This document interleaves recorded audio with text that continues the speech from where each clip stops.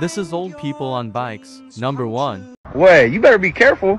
Hey, what for? I can't even do that. I've been doing this for years, man.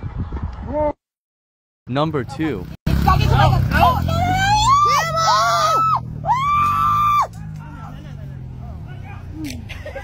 Number three.